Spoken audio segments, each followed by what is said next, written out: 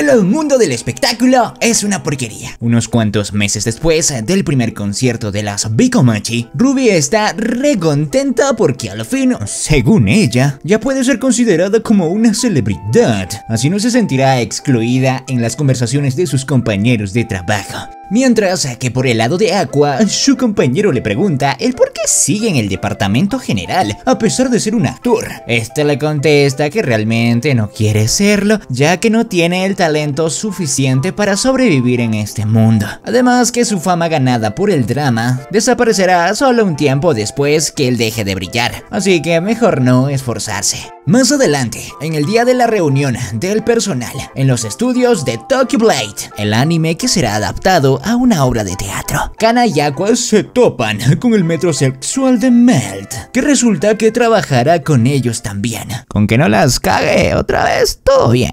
Incluso él sabe que estos dos no tienen buenas expectativas de él, pero les dice que no tienen eh, por qué preocuparse, ya que ha mejorado bastante desde la última vez. Entrando los tres al taller, se presentan frente a todo el equipo de Tokyo Blade. ¿Quiénes serán? El manager Raida, el representante Kindaichi, Wa como el guionista, Sayuka el actor de 2.5D y todo el resto de actores secundarios que me dio hueva aprenderme sus nombres. Y por último, el protagonista de la obra, un tipo dormilón de aspecto descuidado llamado Taiki, que resulta ser una gran estrella de televisión, con el premio al mejor actor. ¡Ah, me vengo!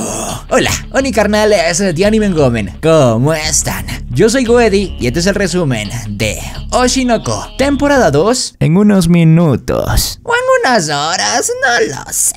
Mientras esperan a la sesión de lectura del guion, los protas aprovechan para conversar entre ellos. Akane, como la loca por agua que es, se le acerca de inmediato para sacarle plática a este guapucho hombre, ah, diciéndole que se esforzará mucho, que esta vez será ella quien lo ayude y también sepa que cuenta con su apoyo en todo lo que se le ofrezca. Mm, vaya la mía de huevos. Mientras a la distancia Kana no les quita la mirada a ambos porque obviamente está celosa. Porque le están quitando a su hombre. En fin, a Kane le parece divertido hablar de la actuación a todo el tiempo. Y le pregunta a Aqua si acaso él no siente lo mismo. Pero ya todos sabemos que Aqua no está allí porque le apasione estas cosas. Sino para descubrir la verdad sobre Ai y su objetivo. Es acercarse al director de la compañía la la la.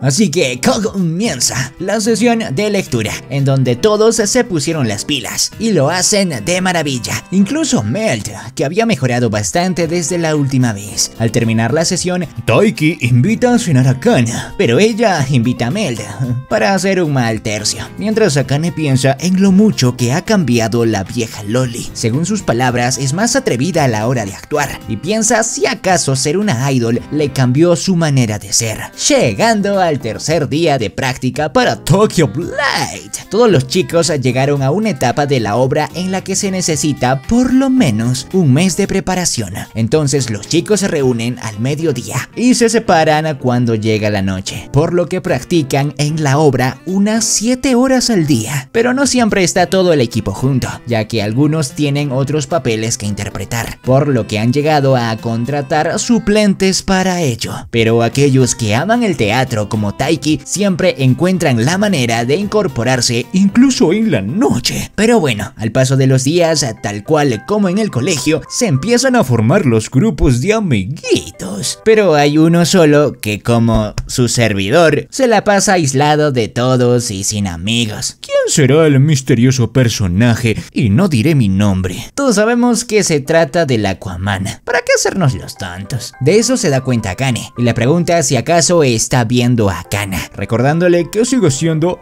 su supuesta novia. Ay, se puso celosa la morra. A lo que este asiente, pero no es porque le guste, sino que la está analizando y llegó a la conclusión de que Kana tiene la tendencia de actuar según los niveles de los demás. Como antes estaba rodeado rodeada de actores de telenovelas feas, su actuación era mediocre. Sin embargo, ahora que está al lado del actor principal de La La Lai, es normal que su actuación sea impecable, lo que significa que de seguir así, Akane perderá la batalla contra ella, dejando con los cachetes de sapo a la morrita esta. Pobrecita le dieron donde más le duele, en las trompas de falopio. Así que en el próximo ensayo, Akane intenta superar la actuación de Kana, pero el nivel de ellas dos es muy diferente. Aparte, en la obra original, su personaje no tiene tanta presencia como el de Kana, ya que es normal que los mangas, al ser trasladados al teatro, se tienen que cambiar un poco, así que ella se tiene que conformar con lo poco que le están dando. Más tarde, esa misma noche, conocemos a esta rara pero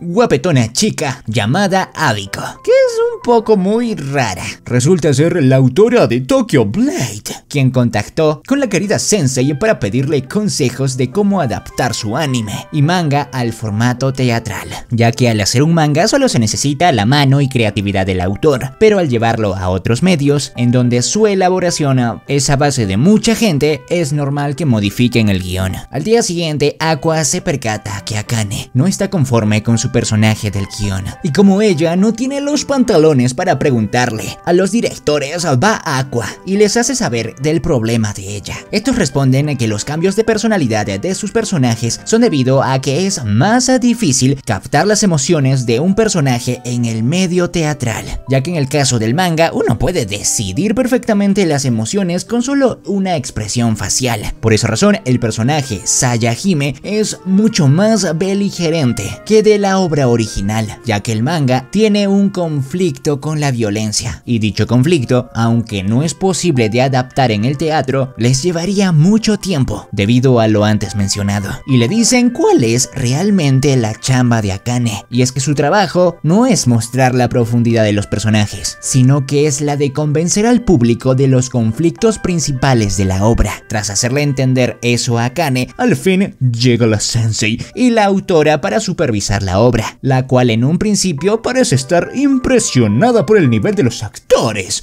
pero solo pide cambiar una sola cosita, solo una. Todo el maldito guion, esta tipa está loca. Ya los estaba molestando por cambiar la personalidad de los personajes, diciendo que este no diría aquello, este haría otro, bla bla bla. Y les recalca que ella no estaba conforme con el guion desde el principio, pero cada que ella les pedía cambiarlo, siempre le decían que cambiaría su opinión al ver la obra por sí misma. Pero lastimosamente no sucedió así, hasta el punto de decirle al creador del guion que si realmente leyó el manga y después escribió este guion, ¿será que tiene poco talento creativo? Al final, ella misma pide escribir el guion, de lo contrario retirará su permiso para la realización de la obra, aunque esto implica que caerá una multa bastante cara sobre la empresa. Pero ella le chupa un huevo que no tiene, te lo doy amiga, tienes unos huevos bien grandes. Dice que no le hace falta el dinero, si no quieren quitar al guionista, perfecto. Es más, páguenle por no hacer nada, que ella hará el guion gratis. Uy, yo quiero una de esas,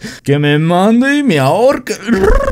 Oye, antes de que continúes, no seas mamón, suscríbete. Si lo haces, te haré una galletita. Ok, dos galletitas, pero por favor suscríbete que no es tan difícil. Solamente tienes que apretar el botoncito rojo de ahí abajo y listo. Más tarde, el guionista le pide a Raida que por favor borre su nombre de los créditos, ya que como técnicamente no trabajará en la obra, no quiere llevarse el crédito. Pero el patroncito chulo dice que a pesar de lo que diga la loca de los lentes, su guion era realmente bueno, así que le pide que solo por esta ocasión lo deje pasar y se quede con el crédito. Aquí vemos como Gua, el pobre guionista, siguió a Toko Blade desde la publicación de su primer número, así que cuando le ofrecieron la oportunidad de adaptar la obra a otros medios, aceptó inmediatamente, y aunque pasara noches en vela trabajando en ello, las palabras de Abiko realmente le calaron en su pechito. Pobrecito, él sí quería hacer el guion. De hecho lo hizo bien, pero Maldita cuatro ojos. Como ahora mismo no hay un guion, las sesiones de ensayo se suspenderán hasta nuevo aviso. Akane al enterarse que Aqua no le gusta ver las obras de teatro, ya que le parecen hasta cierto punto algo de bajo presupuesto y mejor prefiere ir al cine o estar en su casa viendo a los Avengers. Como de momento no hay chamba, a Akane se le ocurre llevarlo a un plan de cita para demostrarle que el teatro es mejor que el cine. Cuando lo lleva a ver una obra, la opinión de Aqua cambia radicalmente, ya que quedó impresionado con la inmersión del escenario. Ya saben, los vientos, las plataformas giratorias, eh, todo eso, así que Akane se encuentra feliz por ello. Pero de repente, detrás de ellos aparece el señor Raida, al cual Aqua le pregunta si está todo bien con el guion, pero este responde lo que ya sabemos, que Gua quiere salirse y dejarle el cargo por completo a la autora original. Pero Aqua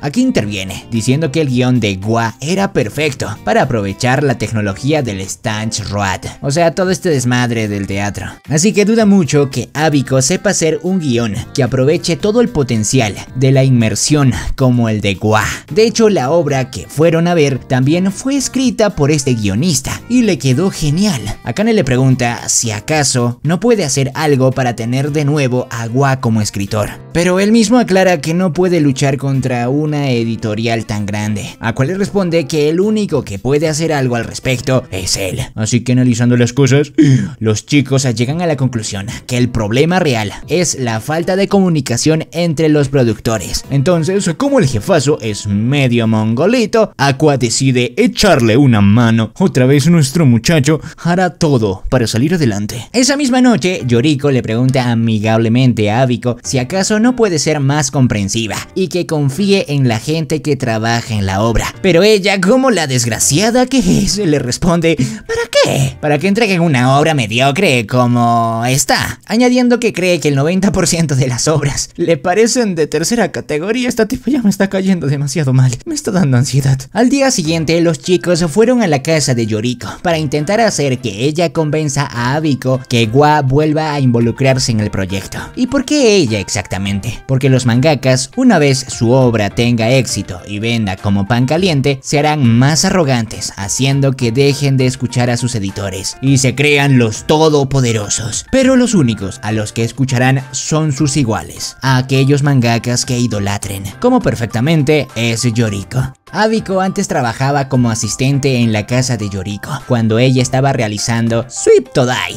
la obra de la sensei. Al ver que ella tenía problemas para relacionarse con los demás, decide empezar a involucrarse con esta tipa toda molestosa, haciendo que ella la mire como una mentora. Pero en un parpadeo, Abiko la terminó superando con su manga, lo que la convirtió en una persona de porquería. Pero bueno, Akane le pregunta si acaso no puede hacer nada para para convencer a Ápico de que Gua regrese al proyecto. Ella se niega ya que tiene la misma forma de pensar que de Ápico. O sea, a ella tampoco le gusta la idea de que modifiquen a los personajes, diciendo que estos son como sus hijos, así que comprende por qué Ápico está modo rabiosa. Por lo que no, no piensa hacer nada para convencerla, ya que está de su lado. Por último, Aqua le pide si puede llevarle a Ávico esta cosa. ¿Qué es esa cosa? Cállate muchacho, todo a su tiempo. Más tarde, Yoriko se dirige a entregarle la carta a la casa de Abiko. Al entrar a su habitación, nota como todo es un desastre. Abiko lleva dos meses trabajando sin un asistente que le ayude a terminar los fondos. Porque ella misma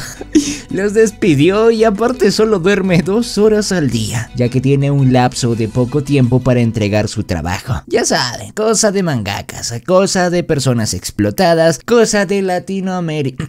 Yori al ver que esta carga la podría llevar a la murición, decide ayudarla con los fondos y al ver la gran cantidad de dibujos semanales que hay, le sugiere que se apure en contratar un asistente. Pero Abby corresponde que todos los asistentes que le envía apoyan, simplemente no la ayudan, son unos incompetentes y tiran la toalla demasiado rápido. Es que no hay persona que soporte a esta mujer. Aquí las cosas se van a la ñonga, ya que las dos comienzan a discutir después de que Yoriko le dijera que comience a vivir más como un ser humano, ya que su incapacidad para relacionarse con los demás es pésima y todavía quiere vivir de la calidad de su trabajo, y eso mismo le traerá problemas en el futuro. Abiko dice que ella no puede decir nada hasta que haya vendido 50 millones de copias, pero Yoriko le responde, ah sí, pues mis dibujos son mucho más entretenidos que los tuyos. Y así pasan toda la noche, ambas contándose sus verdades, la una a la otra de manera poco respetuosa.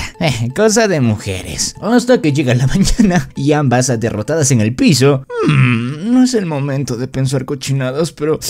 ¡Ay, mente cochina! Abiko en lágrimas le pregunta, ¿cómo puede ser ella más sociable? A lo que Yoriko le responde, que sea más sociable. Vaya respuesta. Y que acceda a colaborar con los demás, ya que siempre habrá cosas a que ella no puede hacer por sí sola por lo que no debe de decir de inmediato lo que piensa, o si no seguirá siendo una despreciable mujer. Un tiempo después, Abiko fue al teatro, gracias a que en la carta de Aqua venía una invitación para una obra. Raida cuando se da cuenta que entre el público se encuentra esta mangaka, así que pide que le traigan para tener una pequeña charla con ella. Raida al pensar en las palabras de Aqua, se amarra bien los pantalones y comienza a encarar a Abiko, diciéndole que si su obra se presenta tal cual como el material original, será un completo desastre. Y como productor es su deber proteger el trabajo de más de 100 personas, así que estaría dispuesto a hacer todo lo necesario para realizar sus intereses. Tras todo eso, le hace saber que la obra que fue a ver al teatro fue hecha por el señor Gua. Y como a ella le gustó mucho, al fin, maldita seas, accede a colaborar de una vez por todas. De esa forma reescriben el guion. Abiko y Gua lo adaptan para el escenario mamalón del teatro. Al final, estos dos terminan llevándose bien. Pero lo que a Raida le preocupa en estos momentos es que como ahora tiene un buen guion, todo dependerá de la actuación de los chicos. Los ensayos se reanudan finalmente. Vemos cómo todos están entusiasmados por ello, en especial Akane, que ahora sí está satisfecha con su personaje. Todos menos el tonto este, y Aqua. Pero bueno, los chicos se esfuerzan mucho con los ensayos, ya que solamente queda medio mes para la función. El único que está teniendo problemas es el Aquaman, ya que en una de las escenas debe demostrar una gran carga emocional. Primero debe de llorar porque su amada en la obra pareciera que va a morir, pero cuando ella se despierta milagrosamente, debe mostrar sentimientos como alegría y esperanza. Y esto es demasiado complicado para nuestro muchacho, así que Kana le echa una mano dándole unos consejos. En cuanto a la emoción de tristeza, la técnica más común usada por los niños es pensar en qué harías si tu mamá muriera. Para la escena en la que debe de estar feliz, solo debe de pensar en los momentos felices que haya tenido en su vida, como fue el ver a su hermana como una idol. Al pensar en ello, a Aqua se le marca una sonrisa. En ese momento se le acerca este cuatro ojos para recordarle que en su escena en la que debe de llorar, piense en que no la pudo salvar y que no tiene permitido sonreír. Como es normal, estas palabras le recuerdan a los últimos momentos de su madre, a lo que a Aqua le da un ataque de pánico. Entra en shock y se tira al suelo. De inmediato, Aqua se sale del set, mientras todos se preguntan qué es lo que acaba de ocurrir, si estaba borracho o si le dio anemia, pero nada de eso. Ya todos sabemos por qué le pasó esto a nuestro pobre muchacho. Como Akane es su supuesta novia, va con él para ayudarlo en todo lo que pueda. Y al ver que el muchacho estaba recontra mareado y aturdido, se lo lleva uy, uy, uy, a su casa. Y ahí es donde Akane se entera por medio de este men que Aqua lleva arrastrando un trauma desde muy temprana edad. Así que ella con sus habilidades de detective toda loca da por hecho que Aqua es el hijo legítimo. De Ai, la idol que le aplicaron la matación. Así que cuando este despierta, no duda en abrazarlo y decirle que no tiene que aguantar toda la carga de su pasado él solo. Mientras que Aqua, como apenas está despertando, está en modo What the fuck, ¿qué pasó, bro? Y le pregunta a Kani qué es lo que ocurre, pero como ella no quiere hablar más sobre el tema, evade la pregunta. Más tarde, Akana se quedó a cuidar a Aqua, preparándole la cena y dándole de comer en la boquita. El viejo director Taishi le muestra a Akane las primeras obras de Aqua y se entera que desde siempre tuvo problemas para expresar sus sentimientos. Así que luego le pregunta, ¿por qué está haciendo teatro? Si acaso busca dinero o fama o algo más en específico. Como se estaba poniendo muy pesada con la pregunta, este responde, ¿y si dijera que quiero llegar a la cima para matar a alguien? A lo que Akane le responde, lo mataría contigo diciendo que va a soportar la carga con él, como la supuesta novia que es. También le dice que él también debería de asumir la responsabilidad de ser su novio, como ayudarla a derrotar a Akana y a Taiki, diciendo que si pierde contra ellos es posible que muera de frustración y si acaso va a dejar que su linda novia muera. Así que van con el viejo director Taichi a pedirle ayuda para saber cómo hacer una actuación emocional fuerte. Para ello les pide que se presenten mañana después del ensayo. Más adelante, Ruby fue a buscar a su hermano al estudio, pero por lo ocurrido no se encontraba ahí. Su amiga le dice que no tiene de qué preocuparse, ya que de seguro ha de estar con su novia, Akane, haciendo travesuras y cosas de adolescentes calenturientos. Pero Ruby confía en que su hermanito jamás se distraería tanto por una chica del instituto. Y cuando ella se va al baño con cara de preocupada, deja a su amiga solita e indefensa para los perversos depredadores. Así que llega Kamoshida para aprovechar la situación. Pero por suerte llega Melt God para salvarla diciéndole la mentira de que los de producción quieren verlos a ambos. Así que debería de darse prisa. Mientras se dirigen hacia allá, Melt le cuenta que era todo mentira y que lo separó de la chica para que no entorpeciera su nivel de actuación, ya que si lo había olvidado, deben comportarse como profesionales. ¿Profesionales? Pregunta Kamoshida y le dice que es el menos indicado para andar dando lecciones, restregándole en la cara que es un actor de pacotilla que solo está entorpeciendo su trabajo y que solo se encuentra aquí gracias a sus contactos y de lo contrario, él está aquí por sus propios méritos. Completo perro. Así que como no es alguien tan talentoso como Taiki, mejor no debería de estar dando lecciones. Como era obvio, estas palabras lastiman muy feo en el cocoro a nuestro pobre muchacho que solo busca mejorar. Al día siguiente, vemos como las dos rivales están dándose de madrazos verbales. Kana gana la discusión al mostrarle un antiguo número de una entrevista que le hicieron a Akane después de que hiciera su primera actuación, en donde esta contó que la persona que la inspiró a volverse actriz fue Kana. Y como es obvio, comienza a burlarse de ella. Akane admite que es verdad, pero cuando al fin la conoció, se dio cuenta que era una horrible persona. Después de haberlas separado porque no paraban de tirarse estiércol la una a la otra, le preguntan a Kana, ¿por qué odia tanto a Akane? Respondiendo que ambas están en el negocio de la actuación desde niñas, y aunque tuvieron problemas para conseguir trabajo, al final Akane es llamada genio y todavía es reconocida en el mundo de la actuación,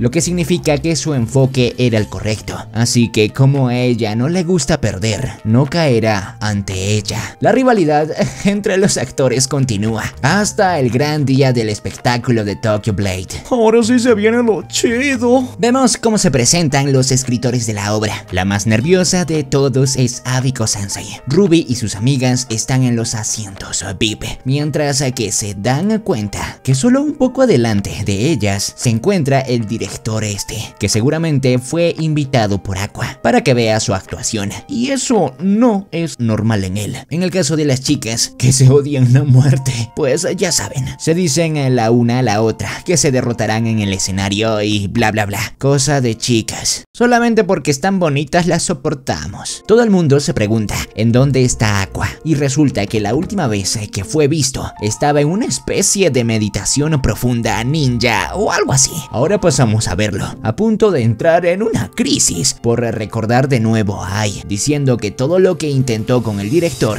para superar su trauma no dio resultado. Pero al final se amarra bien los pantalones y se dirige al escenario con la intención de dar todo de sí. Entonces el gran show comienza.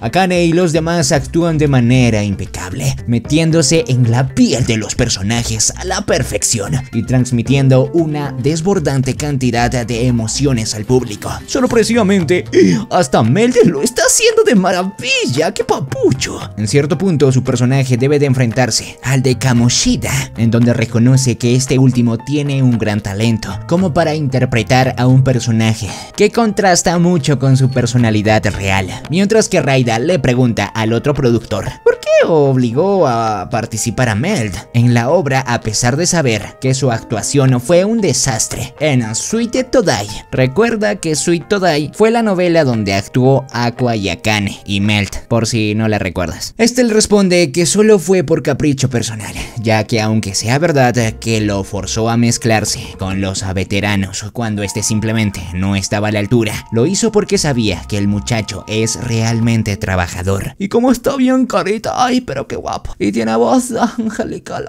No duda que en un futuro llegue a ser un gran actor finalizando por decir que ya no es el mismo Melt que participó en Sweet Todai. Es momento de ver el pasado de este papucho. Resulta que en la secundaria Melt siempre fue un chico popular, con la que todos los morritos querían. Era un chico guapo y lo sigue siendo. Todo o casi todo le salía bien. No tenía que esforzarse para que le ofrecieran trabajo, así que todo el mundo tenía grandes esperanzas apuestas en él. Y como no le gustaba demasiado la idea de tener un trabajo de medio tiempo siendo solo un estudiante, no se tomaría con seriedad en un primer momento, ya que tenía la mentalidad de ok, le daré una oportunidad. Pero tras su rotundo fracaso en Suitodai, comenzó a mejorar su resistencia, ya que esto es importante para un actor. Más tarde tuvo una conversación con Aqua, un mes antes del show, en donde este le contó que si se centra en cambiar distintos aspectos suyos a la vez, apenas tendrá un pequeño power-up en su habilidad de actuación, pero en vez de eso deberá centrarse en perfeccionar un solo aspecto, para así tener más probabilidades para competir contra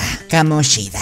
Así que, volviendo al presente, Melt está listo para dejarlo todo en su duelo contra el joven diabólico de Kamoshida, y con esto demostrarse a sí mismo que sí vale para ser un actor. De repente, Melt desbloquea su Super Saiyan legendario, fase Dios de la actuación, y cambia el aburrido ambiente del teatro a uno más emocionante, no solo asombrando a Abiko Sensei, ya que está interpretando al personaje tal cual como en el manga original, sino que le refleja la frustración de su personaje de manera sublime. Impresionó a todo el mundo, incluso haciendo llorar a Yoriko al ver el gran cambio que tuvo este muchachito. Todo gracias a que Meld se sintió identificado con su personaje, ya que ambos se creían que eran unos chicos geniales, pero luego se dan cuenta que son unas personas patéticas y sentían estar debajo de los demás. Así que llevando su frustración al escenario, logró interpretarlo excelentemente, acabando con su actuación detrás de la pantalla. Como Shida reconoce su talento y le dice que mantenga el nivel. Luego se dirige con el Aquaman para decirle que ya entiende las palabras que este le dijo, diciendo que el expresar las emociones realmente le parece divertido. Ahora llega el turno de la cual se desenvuelve en el escenario de manera en la que lo haría un veterano, ya que muestra tener una gran flexibilidad y habilidad para improvisar, ya que de manera orgánica logró corregir un pequeño error que cometió Aqua en su actuación, con naturalidad y de manera en la que lo haría su personaje. Luego llega la parte en la que aparece Akane, y dicha escena es la que más preocupa a Abiko Sensei, porque es la parte del guion que se reescribió más veces, pero no hay problema, porque Akane actúa de una manera que resuelve las inconsistencias del guion, siendo reconocida por Abiko como una actriz extraordinaria. Por último, la obra llega al clímax con su correspondiente batalla final entre las facciones Shinjuku y la facción Shibuya, donde estas dos chicas se enfrentarán cara a cara, un duelo con espadas. Y como era de esperarse, también lo hacen de maravilla, ya que al interpretar el conflicto de estos dos personajes, se están ah, proyectando ellas mismas. Akane comienza a tener flashbacks en el momento de su infancia, cuando admiraba a Kana, y se unió al programa de los niños con la esperanza de convertirse en su amiga, y como se esforzó demasiado para ser como ella, incluso haciéndose el mismo corte que ella, ya que la respetaba muchísimo. Todo eso hasta que conoció a la verdadera Kana. Cuando estaba en la audición, uno de los directivos de esa misma confundió a Akane con Kana, diciéndole que no tiene por qué preocuparse, ya que Kana ya había sido elegida como la ganadora. Así que esta audición era una farsa. Pero justo en ese momento entra la verdadera Kana, preguntando si acaso la habían llamado. Este idiota, al ver que la había estropeado todo, procede a aplicar una retirada estratégica. En ese momento, Akane activa el modo Fangir e intenta ganarse la amistad de esa diabólica señorita, pero esta la ignora varias veces. Akane le cuenta lo que acaba de ocurrir, o sea que aquel sujeto las confundió y le dijo que ya había sido elegida desde un principio, lo que de seguro se trataba de un error o algo así. Pero la vida le daría una lección de realidad a la pobre Akane, ya que en ese momento se dio cuenta la horrible persona que era su ídola, ya que efectivamente se habían arreglado las audiciones a su favor, diciéndole a Akane que un papel como por el que están audicionando lo podría hacer cualquiera, con conocimientos básicos de actuación, pero para que el proyecto tenga más fama y por ende dinero, usarán a la actriz que ya sea famosa. Y para rematar, le quita el sombrero a Akane y le ordena que la deje de imitar, ya que odia con todo su corazón a las personas como ella, dejando a la pobre Akane con la incógnita de por qué le dijo eso. Y con el paso del tiempo, comprendió que simplemente estaba asustada, porque estaba perdiendo sus trabajos lamentablemente, y solo buscaba ser necesitada. Pero aún sabiendo eso, odia a la cana del presente, una cana aplastada por los adultos que la rodean, con una forma de actuar que es egoísta pero genial, con la que devora a todos alrededor, pero por lo menos ahora es capaz de igualarla. Y así continúa la épica batalla entre las dos morras sabrosas. Pero en un dado momento en que Akane actuó de manera espléndida, con un estilo de dibujo increíble por cierto, Kana debe de rebajar su presencia para que Akane aumente la suya. Y así queda más épico todo señores, esto es cine. Cosa que no le agrada del todo a Kana, pero al final lo hace por el bien de la obra, diciendo que ahora es momento en que deben de dejar de alimentar su ego, ya que esta es su forma de actuar. Pero en el fondo Akane no quería que reaccionara de esa manera, ya que su objetivo es ganarle la Kana enérgica y presumida, no a la que se está conteniendo. Al finalizar el acto y estando todos atrás del escenario, Kana se va a un rincón ella solita, mientras Akane habla con el Aquaman al respecto, pero al final deciden que la obligarán a actuar de manera enérgica para que así la competición entre ellas dos sea más justa. Kana se encontraba revisando el guion para saber los momentos en los que podía improvisar, cuando de repente aparece Taiki para preguntarle qué le había ocurrido en la escena pasada. Este le contesta que es inevitable que ciertos actores se tomen el centro de los reflectores, diciendo que si los actores hacen lo que quieran, al final la obra navegará sin rumbo, por lo que alguien debe de mantener las cosas en su lugar. Mientras dice esto, se da cuenta que Taiki está sosteniendo como unos binoculares sus lentes, a lo que este le contesta que es para no arruinar su maquillaje, y aunque no pueda ver las expresiones faciales de sus compañeros, no es problema para él, ya que se supone que los actores deben de trabajar juntos, solo viendo los movimientos del otro. Terminando ese pequeño descanso, toca volver al trabajo e interpretar otra batalla, en donde Aqua se ve opacado por la increíble actuación de Taiki. Pero en dado momento, Aqua sorprende a Akane con una increíble habilidad para la improvisación, terminando por llevarla de manera natural y coherente hacia la luz de los reflectores, para que así Kana esté en el ojo de todo el mundo y así no se contenga en su actuación la hora de enfrentar a Kane. Resulta que la impecable improvisación de Aqua desbloqueó los recuerdos de Kana en el momento en que apenas estaba agarrando su popularidad y por ende era el gran orgullo de su madre. Pero cuando la fama de Kana comenzó a decaer, su miserable madre imponía los argumentos de que los productores elegirían a Kana por ventas e insistiendo que su tiempo en pantalla fuera más grande, ocasionándole problemas a todo el mundo. A su vez, también descargaba su estrés en la pobre Kana, provocando la ruptura de esta familia, ya que el padre le engañó con otra mujer. hombres todos son igual. Oh, rayos.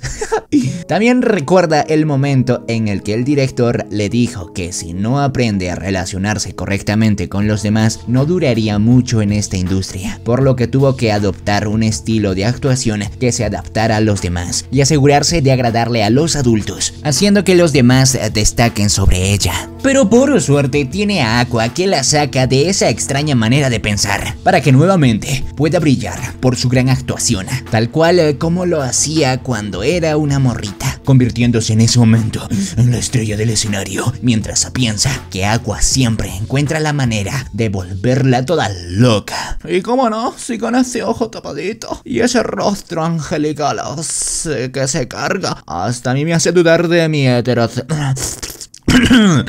Eh, continuando con esta historia, mientras Akane piensa que esa es la cana a la que quiere derrotar, llega la escena en donde ella tiene que morir y Aqua debe de demostrar su capacidad para transmitir emociones. Así que vemos el largo proceso de mentalización que tuvo Aqua junto a Akane y el director, con el cual llegaron a la conclusión de que Aqua no podrá disfrutar de la actuación debido a que su única motivación para vivir es la venganza por todo lo ocurrido con Aya. Así que lo que debería de hacer para transmitir emociones es no disfrutar de la actuación, ya que cuando lo disfruta se siente culpable por lo ocurrido con su madrecita y empiezan sus ataques de ansiedad, mareos y todo eso. Entonces, a diferencia de los grandes actores, al actuar debe ser una amarga y dolorosa sensación con la que tiene que sufrir. Con todo esto en mente, la actuación de Aqua resulta ser increíble, interpretando odio y tristeza de manera muy realista, pero en su mente está lidiando con una lucha con este ente oscuro, diciéndole cosas como no tienes permitido disfrutar la vida, tu única razón de existir es para completar tu venganza. Y bla bla bla. Esta cosa resulta ser solo el remordimiento de Aqua que se originó en el momento que no pudo hacer nada por ahí debido a la falta de fuerza. Y dicho sentimiento lo utilizará en la actuación al imaginarse en un escenario en donde hay, después de su apuñalada, abre sus ojos en el momento que Akane vuelve a la vida, haciendo que Aqua interprete la escena de manera épica,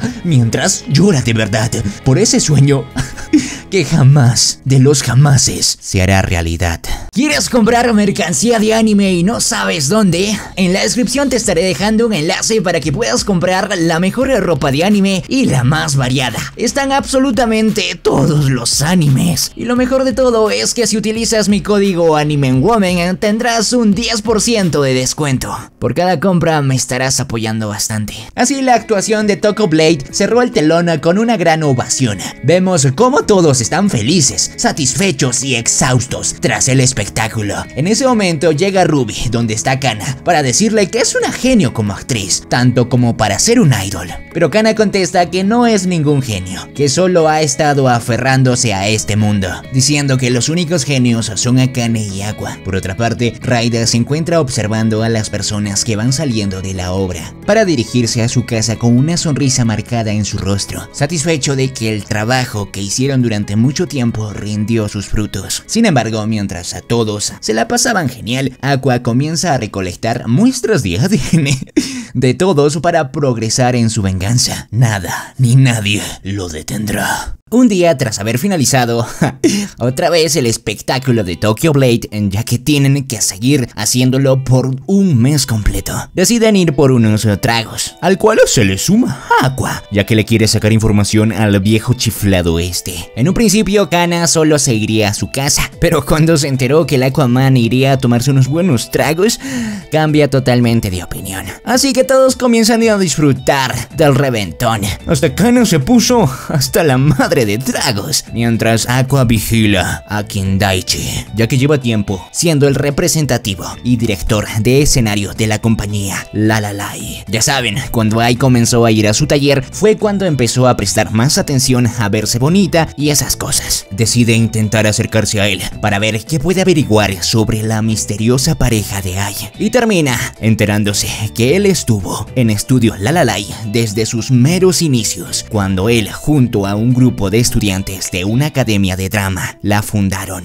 Pero en un principio tuvieron una serie de fracasos en sus talleres, de los que no quieren hablar. Pero por suerte, Aqua es ayudado por Taiki, que resulta también estar interesado en los fracasos de este viejo. Así que se lo llevan a otro bar, en donde trabajan algunas idols, a espaldas de sus agencias. ¡Ay, no mames! Como está rodeado de mujerzuelas, su impulso masculino lo obliga a beber aún más y más. Excelente estrategia, amigos. Hasta que el viejo se emborracha. Aqua se entera que Taiki viene de un orfanato. Al momento que salió de ahí, fue criado por Kindaichi como su figura paterna. ¡Oh, rayos! No lograron sacar la información a este viejo borracho. Aqua dice que no hay problema, ya que también quería hablar con Taiki. Y agárrense bien sus petacas, queridos espectadores, porque resulta y resalta ser que las pruebas de ADN que hizo Aqua arrojaron que Taiki es medio hermano de Ruby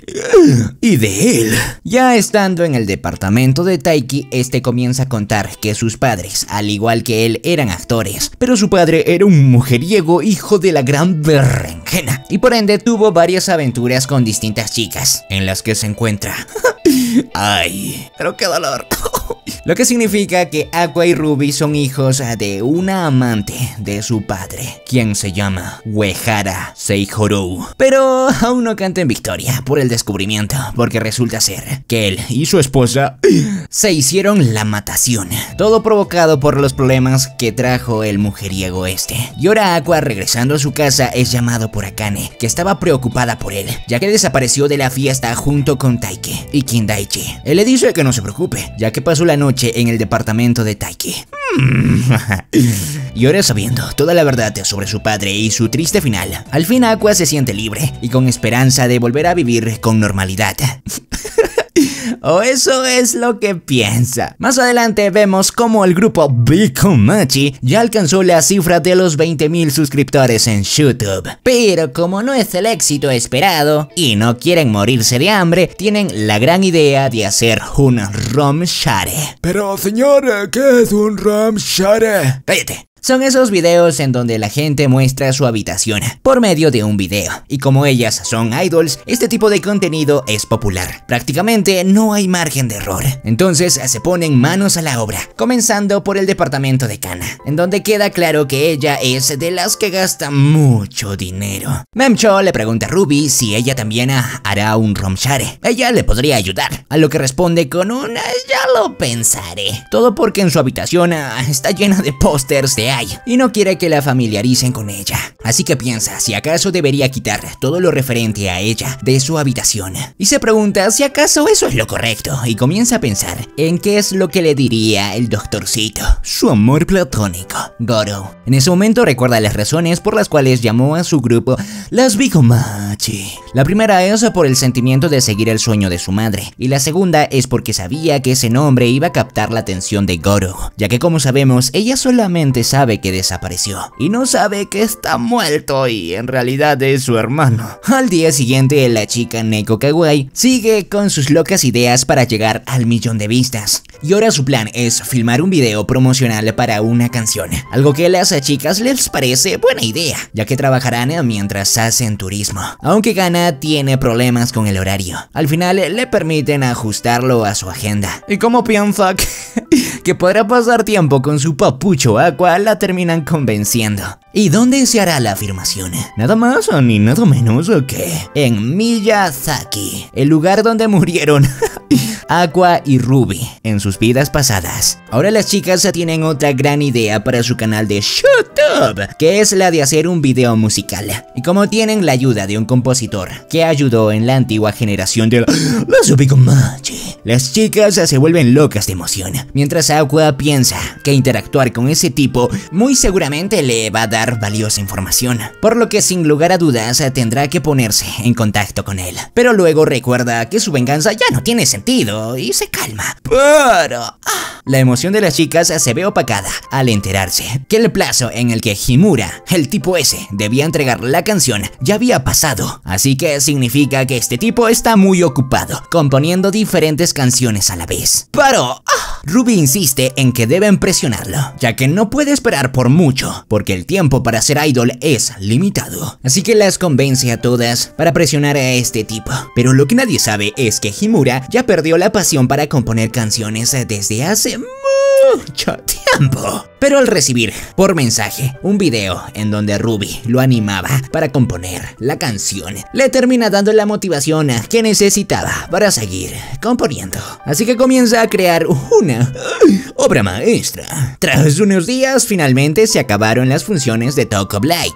Entonces Aqua se preguntaba, ¿ahora qué caracoles va a hacer con su vida? Y como Ruby lo vio todo perdido, lo invita a ir a Miyazaki. Y como Aqua no había estado ahí desde su morición, acepta, poniendo muy feliz a Kana. Y así que se ofrece para llevar de compras a Aqua para que tenga un outfit discreto. De esa forma no sea reconocido. Pero este maldito desgraciado se niega, ya que hoy tiene una cita con Akane. Y si mañana tiene el día libre, con gusto la acompañará. Kana se pregunta cuánto tiempo va a seguir estos dos fingiendo ser pareja, ya que el reality show uh, ya hace mucho tiempo acabó y se queda muy triste y perdida en sus pensamientos. Ahora pasamos a ver a Aqua y Akane disfrutando de la vida de adolescentes, pero en su mente Aqua piensa en cortar de una vez con Akane, ya que ahora no tiene el objetivo de vengarse, ya no es necesario que ella siga estando atada a él, así que se le ocurre una idea de invitarla al viaje a Miyazaki. Para que en ese lugar Maldito desgraciado. Termine con ella. Akane se le adelanta y le dice que no es muy bueno para esconder sus intenciones. Y le dice que ya sabía desde antes que en algún momento tendrían esta conversación. En el momento en que ella le dejara de ser de utilidad. Aún así a ella no le importaba que la utilicen, porque sabía que Aqua era una persona amable. Así que lo lleva al mismo puente donde este le salvó la vida. Lo abraza por la espalda, de la misma manera en que Aqua lo abrazó en ese momento. Y le dice que no le importa que se llegasen a besar o hacer cosas de calenturientos, porque hace mucho tiempo que cruzaron la barrera de una relación de negocios. Hoy la tipa va con todo. Ay. Pero en este momento, Aqua se sincera con Akane, diciéndole el por qué se metió a esta industria. Y como ya sabemos, fue para buscar a su padre. Además que por casualidad encontró a su medio hermano, gracias a que hizo más de 100 pruebas de ADN de todos los que estaban trabajando en el estudio. Y al final de todo, solo estaba persiguiendo a un fantasma, ya que la basura humana de su padre hace mucho tiempo que había muerto. Así que ahora puede vivir su propia vida en paz, entregarse por completo a la actuación y tal vez buscar el amor. Akane al escucharlo se pone nerviosa y se retira hacia su casa, pensando en que muy en el fondo, Aqua quería que todo esto terminara. Y justo por eso no se dio cuenta de un pequeñísimo gran detalle, un detalle que si se lo cuenta, seguramente volverá a ese estado de buscar venganza. Y se pregunta si debería decírselo o no. Akane es la verdadera, uy, sabe cosas. Por otro lado, Ruby se encontraba platicándole a la tumba de su santa madrecita del próximo viaje que harán a Miyazaki y de cómo ha notado que Aquaman últimamente ha estado más alegre. En el momento en el que ella se va, aparece una misteriosa persona que también viene a hablar uh, con la tumba de Ai, diciendo que Ruby se ha convertido en una hermosa mujer, pero es normal, ya que es nuestra hija. ¿Qué está pasando, doctor García? No lo comprendo. Ah. Al día siguiente, el Aquaman y Kana se dirigen al centro departamental para comprarse una maleta. Aunque Kana haya llegado tarde, ya que no sabía qué outfit le gustaría a Aqua. Típico de mujeres. Durante todo el día, Kana se la pasaba malinterpretando todo lo que la Aquaman hacía. Pero también se queda extrañada, ya que parecía que no es la primera vez que la Aquaman esté en una cita, porque lo tenía todo planeado el desgraciado. Hasta había reservado una mesa en un restaurante. Pero bueno, en la conversación mientras comen, Kana le pregunta si acaso ha estado jugando con las chicas de esta forma. A lo que la Aquaman responde que no, mamacita, claro que no. Déjate venir. Y le cuenta que cuando haces un plan para que la otra persona se divierta, no es normal eh, que algo así suceda. Al oír esto, Kana se queda sonrojada con los calzones en la mano, diciendo, véngase papito, véngase. Pensando que organizó todo un plan para que esta salida de compras sea perfecta, solo para que ella estuviera feliz. A todo esto le pregunta sobre qué planes tendrá con Akane, respondiéndole que aún no lo sabe, ya que el día pasado tuvieron una conversación sobre su relación, pero que la dejaron pendiente. Nuestro muchacho dice que antes pensaba que no debía involucrarse en líos amorosos y todas esas cosas, ah, pero ahora ya ha cambiado de opinión. Kana le responde que eso está bien, ya que la libertad de amar es un fundamental derecho humano. Después de la cena, Aqua pide un taxi y como es invierno y ya es un poco tarde, Kana piensa que la llevará a un hotel para calentarse en la noche y hacer cochinadas. Pero solo fue llevada a su casa normalmente. Las mujeres y sus mentes todas cochinas y retorcidas. Al día siguiente, las chicas se encuentran emocionadas porque la demostración de la canción hecha por Himura al fin les había llegado. Y como sobre el pastel, no solo irán a Miyazaki a grabar un spot promocional, sino que un Instagramer creadora de videos llamada Anemone les ofrece filmar el video musical de la canción que van a hacer. Más tarde llegan al punto de reunión para partir hacia Miyazaki, en donde Kana no está muy feliz de ver a Akane acompañando a Aqua, pero de lo contrario Ruby está recontra feliz de al fin conocerla. Más tarde, llegando al pueblo de Takashihio, se reúnen con Anemone, que se presenta con todos los chicos. En un momento, a Memcho le entra la curiosidad y le pregunta por qué escogió un lugar como este para establecer su estudio, a lo que responde que eligió este lugar por su gran naturaleza y hermosa vista que ofrecen las montañas a su alrededor. Además de que este lugar es famoso por adorar a una deidad de las canciones y el entretenimiento, llamado Ameno Asumeno Mikoto, o algo así, no hablo taka taka, a lo que resulta que Aqua ya conocía de esto, porque ya lo sabemos todos, su anterior vida. Así que el grupo Bikomachi se dirige a realizar las filmaciones, mientras que el Aquaman se dirige a aquel hospital en donde murió y renació junto a Ruby. Mientras se dirigen al hospital, unos scooters, Akane le pregunta ¿qué asuntos tiene en ese lugar? A lo que responde que solo quiere comprobar algo. Ya estando en el hospital, Aqua pregunta por Gorou, pero resulta que se reportó como desaparecido desde hace 15 años. Además que todo el hospital había cambiado y ya no se encontraban sus antiguos colegas. Mm, pero qué triste. Estando en un lado del bosque en donde lo matacionaron en su vida pesada, Aqua comienza a buscar entre la maleza mientras Akane lo sigue. Aqua le pregunta si él tuviera un perro que murió hace 15 años, aún sería posible encontrarlo. Pero ella le responde que si lo enterraron, ya debió haberse hecho huesitos. Pero si se dejó en el aire libre, lo más probable es que se haya descompuesto y dispersado con el tiempo. Así que mejor Aqua decide irse de ahí, mientras Akane piensa que solo vino a buscar a un perro que tuvo en su infancia y por lo tanto, ¡ay, le parece lindo! no tiene ni idea la pobre por último, se dirigen a la antigua casa de Garou, en donde el Aquaman comienza a recordar su vida pasada. Desde el principio, cuando nació, su madre murió desangrada, y como su padre jamás se presentó, fue enviado a vivir con sus abuelos. Entonces, por sentirse el causante de la muerte de su madre, se convirtió en obstetra, para que las personas no pasaran por lo que él pasó. Así que se convirtió en una persona que serviría a los demás. Y un día, en que una paciente suya, que le tenía mucho cariño y que fue abandonada por sus padres, llamada Sarina, iba a morir. Esta le dio una plaquita del grupo de los Bikomachi para que la atesorara para siempre, mientras le dice que lo ama y lo seguirá haciendo, incluso si reencarna. ¿Coincidencias? no lo creo.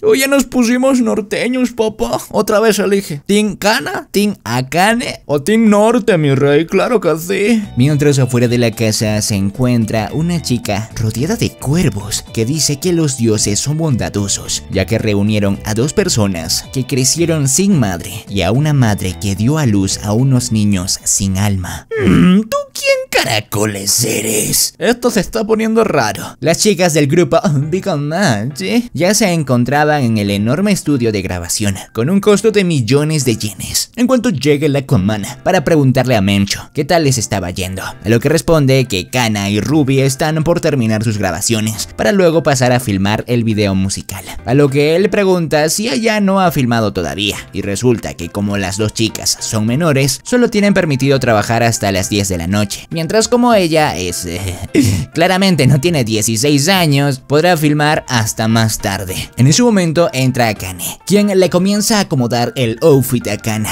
como si fuera su madre. Hmm, Kana le pregunta a Aqua si cree que se ve linda. Este maldito le dice que se ve decente. Maldito perro. Mientras las chicas graban su video, Akane le pregunta al Aquaman si él cree que Kana se convertirá en una idol famosa, a lo que responde que realmente lo cree, pero eso significa que ya no podrá salir con ella, como cuando fueron a comprar la maleta y luego pasaron por una barbacoa brasileña, ya que si se descubre que una idol famosa tiene a un hombre en su vida podría ser problemático para ella. En el peor de los casos, podría acabar como hay. Maldito fandom estúpido. Ahora ya pasamos a las 10 de la noche. Le toca grabar a Mencho. Y como la Aquamana quiere quedarse a ver un poco más, le encarga el cuidado de su hermana a Akane. Mientras estas dos chicas iban de camino al hotel, se topan con un cuervo. Hmm, cuervos. Este pajarraco les quita las llaves del departamento a Ruby, así que deciden perseguirlo. En su trayecto, las dos chicas comienzan a platicar sobre sus sueños y metas, a lo que Ruby dice que su sueño es actuar en ese gran domo, o sea, donde Ai nunca llegó, ese concierto que nunca se hizo, para que así logre reencontrarse con su querido doctorcito, o sea, Gorou. Y le pregunta a Kane ¿Cuál es una diferencia de edad aceptable para una pareja? Aquí huele a delito, mi rey. Akane le contesta que por lo menos 10 años, pero le entra la duda de quién es la persona mayor que le atrae a Ruby y qué tipo de persona es. Aquí la hermanita le cuenta cómo Gorou siempre la apoyó y acompañó cuando estaba sola y cuando ella le confesó su amor y le dijo que en algún día se casarían. Este le respondió que cuando cumplan los 16 años, hmm, tal vez lo pensará. Y justo ahora Ruby tiene 16 años. Pero como el doctorcito fue reportado como desaparecido hace mucho tiempo, piensa que quizás huyó de las mujeres. Pero tremenda desarrollada de personaje le daría la vida, ya que justo justo, el cuervo maldito las guió hacia el cadáver de Gorou, que todavía portaba la plaquita que le había dado en su vida pasada. Santas empanadas de pescado, amigo, ¿qué está pasando? Esa vieja, los cuervos, no lo entiendo. Sigan viendo. La policía se apresuró al lugar donde estaba el cuervo y lograron hacerse con todas sus pertenencias. Las chicas ya se encontraban en el hotel. Ruby, al saber que ese cuerpo era de su querido amado doctorcito, se encuentra muy pensativa. Pero más tarde Akane se encuentra platicando con Aqua. Este se disculpa por haberla hecho pasar por todo eso. Akane se molesta con él y le grita que no tiene por qué cargar con toda la culpa él siempre. Aparte que lo dice como si él hubiera tenido la culpa de que esa persona haya muerto en ese lugar. El Papucho ya se había anticipado que si daba dicha información necesaria, ella lo terminaría encontrando, pero pensando que no pasaría nada en el caso en que lo encontraran, ya que ese asunto ya no tiene nada que ver con él en este momento. Pero muy en el fondo realmente quería que lo encontrara y le revela que esa persona era la que fue a buscar junto a ella en el hospital en los capítulos anteriores. Este tipo se cree Light, L, Ayano Koji, o sea que ya lo planeó todo, admitiendo que todo este tiempo la estado utilizando. Akane no es tonta y admite que ya lo sabía desde un principio y le pregunta qué es mejor para él, si ella simplemente se va mientras empieza a llorar. Al ver esto, el Aquaman activa el modo papucho seductor supremo. ¡Ah! Y la abraza, mientras le dice que su venganza terminó hace tiempo. El cadáver ya fue encontrado, por lo que ahora la protegerá a ella. Tras haber dicho eh, todo esto, le planta tremendo besote a la waifu. Maldito mujeriego, ¿dónde quedó Kana? Al día siguiente, Ruby estaba muy triste tras todo lo ocurrido, pero en ese momento se le aparece esta diabólica y aterradora chiquilla que le pregunta si acaso tenía una buena relación con ese doctor. Y si ese es el caso, entonces se comprende cómo se siente. Ruby toda enojada le dice que vas a andar sabiendo tú, niña meada. Que la dejen paz porque en este momento no se encuentra de un muy buen humor. Pero la misteriosa niña le dice que ella sabe justamente lo que Ruby quiere saber, captando así su atención. Más tarde, el grupo de las Picamachi se dirige a grabar hacia los exteriores, para ser precisos a un lago en pleno invierno, en donde Kana está sufriendo, pero a la vez está haciendo un impecable trabajo, ya que según Enamone, Kana se ve linda, haciendo todo lo que hace, por lo que sabe que es una chica muy dedicada. Por otra parte, Ruby está actuando de una manera extraña, da la sensación de que tiene un estilo de cierta idol que ya conocemos, y pareciera estar imitando a alguien. En ese momento, Ruby recuerda la charla que tuvo con esa fantasmal niña. Esta le dijo que en aquella noche en que murió Goro, una idol dio a luz de manera hiper secreta y le dice que le parece sospechoso esa línea de eventos. Además que esa misma noche, afuera del hospital, se encontraban personas misteriosas que pudieron ser los causantes de la muerte tanto de su madre y de su querido doctorcito. Un hoyo fue identificado, que resultó ser aquel que apuñaló a Aya y más tarde se hizo la automatación. Por ahí debe de seguir la otra persona y descubrir quién es. Es el trabajo de Ruby, por lo que ahora es ella quien está siendo impulsada por la venganza. Hará todo lo posible por matar a esa persona que acabó con la vida de sus seres queridos. Oye, ¿no te gustaría gozar de los beneficios que te brinda este humilde canal? Elegir el siguiente resumen, ser saludado en todos los videos, stream privados, entre muchas cosas más. ¿Qué esperas que no te unes a los miembros? Podrás hacerlo picando al botoncito azul de aquí abajo. Tenemos precios para todos los bolsillos. Muchas gracias por tu apoyo. Toma tres galletitas. Con las filmaciones del video musical finalizadas, a la creadora de videos le tomará más o menos un mes para terminar el primer video, pero para el segundo seguramente le tomará mucho más tiempo. Al día siguiente, los chicos tendrán que tomar un avión de vuelta a casa, no sin antes hacer la relajación en los típicos baños normales. En ese lugar, Akane se encuentra pensando en todo lo que pasó en este viaje y se pregunta si acaso su relación con Aqua ya es oficialmente una relación romántica y no de trabajo. En ese momento llega Kana, quien la felicita porque escuchó que le habían ofrecido un papel principal en cierta película, lo que significa que se estaba volviendo muy famosa, a lo que ella se quiere hacer la humilde diciendo que es una película que se estrenará en muy pocos cines, así que no tiene tanto mérito, a lo que gana la y calla el hocico, y le dice que se deje de mamadas Mary Jane, y no juzgue una obra por su exhibición, añadiendo que le tiene mucha envidia. A todo esto le pregunta en cuánto tiempo más piensa seguir con ese romance falso de reality show. Y ella responde que ya no es solamente un romance falso. Y se comienza a poner toda roja. y se va, dejando a Kana con cara de ¿qué caracoles está pasando? Sus sueños y esperanzas han muerto. Después de tener una charla con Ruby acerca del Aquaman y está tratando de ocultarle las cosas que descubrió para que todo no se salga de control otra vez. Al día siguiente, los chicos visitaron el santuario de las artes escénicas, en donde cada uno pide un deseo a los mismísimos espíritus chocarreros. Memcho desea éxito, Aqua pide que ningún actor de la empresa les cause problemas, Akane desea ser capaz de actuar mejor, Kana tener éxito rápidamente y por último Ruby. que desea que Aqua encuentre al asesino de Goro y su madre para que lo mate de una vez por todas. Y después de todo eso pasó medio año. Los chicos avanzan tanto en su carrera como en su vida escolar. Además de que su video tuvo muchísimo éxito.